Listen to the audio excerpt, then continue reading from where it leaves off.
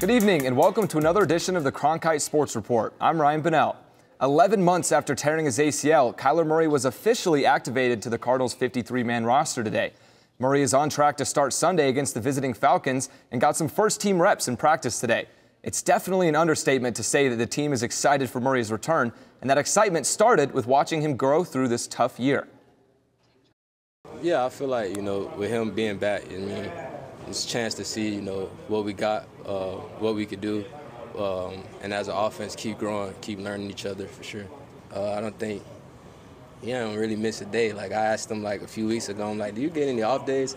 Like, cause every time I see him, he's been working ever since the off season. So it, he, he's been he's been good. ASU football travels out west to take on UCLA in Los Angeles this weekend. With just two wins on the season, the Sun Devils are looking to get on the right side of the scoreboard any way they can, and they might just have a few tricks up their sleeve. Kenny Dillingham knows that protection is the name of the game against an elite UCLA defensive line, so at practice this week, the Sun Devil head coach is looking into some new ways to move the ball. Hey, they're difficult to block. Uh, that's why they're top 10 in the country in rush defense, top 10 in the country in, in sacks. So, because they're difficult to block. So, you know, we can say, let's line up and run the zone. Okay, cool. Like, you can see how that works for us, right? But we're going to have to be creative uh, with, you know, how we throw it, how we run it, and the things we do in order to, you know, play to our strengths. After last season's strong start, Bobby Hurley isn't lowering his expectations for his squad. As a man who experienced much success in his college days at Duke, Hurley is pushing his team to set high standards for themselves. This is the last season of the Pac-12, and we talked about that and just, you know, what are we going to do this year? You know, with this being the last year, how are we going to attack this season and, uh, and, and make the most out of it? Uh, so last chance to win anything, you know, uh, in the Pac-12 for, for Arizona State basketball. I don't see, you know, any banners, uh, you know, in our arena. So uh, hopefully that's, uh, I think that's how the guys have been thinking. We'll see what Hurley and his new squad can do at their season opener tonight in Chicago for the Barstool Sports Invitational.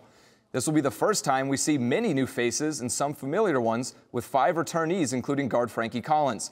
The roster now includes 11 newcomers, seven being transfers, and joining Hurley on the bench will be four new coaches. Tip-off tonight is set for 7.30 against the Mississippi State Bulldogs. The high school state football playoffs for the big schools kick off tomorrow, including the Open Division Championships. Two powerhouse teams in Hamilton and Chandler will be making a run at the title. The two rivals played each other last weekend to determine their seeding. Cronkite News reporter Kenji Ito has more on this historic rivalry. Hamilton arrived just 10 minutes before kickoff to face Chandler in the battle for Arizona Avenue. The Huskies practiced on their own field to avoid any chippiness ahead of this rivalry game that's been going on for 24 years. But with open division seating on the line, the Wolves made the bigger statement winning in a lopsided affair 49 to 13.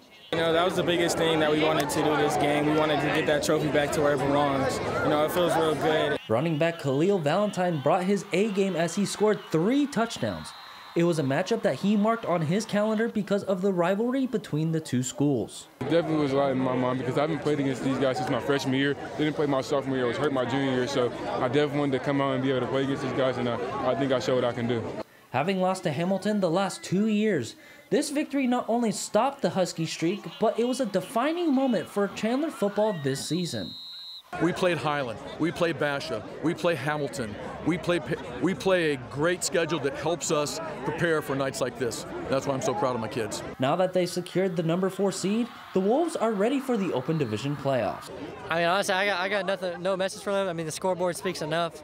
I mean, we're just gonna come out, whoever is next, just worry about them and not really look forward to those two, three other games ahead of us. We're just worrying about who we got next next week and just go from there. Chandler will face fifth seeded Highland in the opening round of the playoffs. In Chandler, Kenji Ito, Cronkite News. It's USA versus Canada in a huge rivalry game at Mullet Arena. The U.S. women's national team hosts their, fo their foes from north of the border in the first of this seven-game series. The rivalry series was introduced by USA Hockey and Hockey Canada five years ago and has turned into a must-see competition. The final game of this series last year was played before a record-breaking crowd of nearly 15,000 in Seattle. The teams will play two games here in the U.S. in November. before heading north for Canada for four games in December and February. The final game will be played February 11th in Minnesota. Tune back in tomorrow for more exclusive coverage on this iconic matchup on ice. That wraps up your Cronkite Sports Report. As always, I'm Ryan Bonnell. Aaron and Alex, back to you.